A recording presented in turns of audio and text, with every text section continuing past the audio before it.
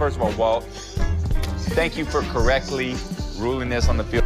Which- I mean, that's just that's just a, your intent. Did you hit me with a Your flagrant intent. with a flagrant? Had you tackled me? That's the first Clearly, time I it heard- wasn't a pass. I'd have held onto the ball. Okay, I, all right, I'll give Okay. you that.